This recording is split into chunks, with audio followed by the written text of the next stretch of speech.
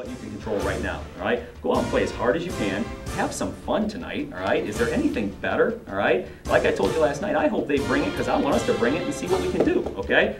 Rochester, state semifinalists in 07, state ranked number 7, looking to defend their home court and move to 10 0 on the season.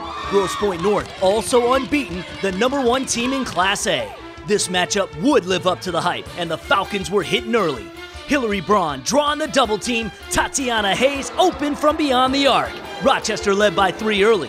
The defending MAC Red Champ Norsemen, however, quite possibly the toughest pre league schedule in the state. Trailing by seven, standout sophomore Ariel Breaker steps in front of the pass, and she's gone.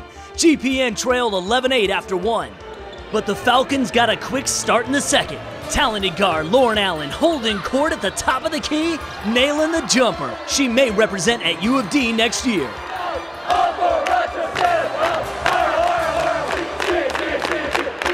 In the second, the Falcons had it working.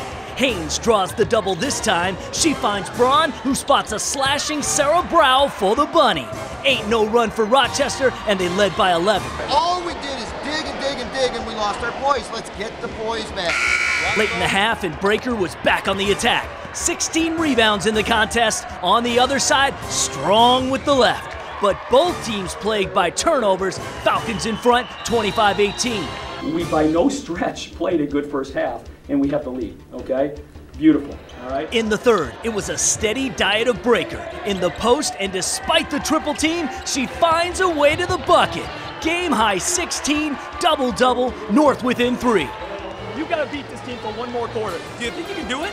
All right, but you gotta want to do it. Right now, we don't look like we want it very bad. You gotta do it together. In the fourth, the Norsemen down by 10 early but would not quit. The press forces the turnover. Olivia Standard picks up the loose ball, and Kelly Defoe does the honors. North down just two, it was clear momentum was wearing green.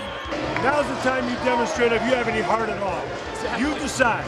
Closing minutes, and Falcon senior Lauren Allen stepped up to the plate. Into the paint, the 360, and the soft touch. Held the four, but this was a dagger. Rochester goes on to knock off Grosse Pointe North 45 38. That just may leapfrog them to the top of the ranks. All right, this week's marquee MVP, Rochester holding home court thanks number 14 senior point guard Lauren Allen. Lauren, how important was this victory for you guys? It was important. We want to come out and show everybody that we are a good team. We're still under, we're still the underdogs after last year, and everybody knows that we can compete.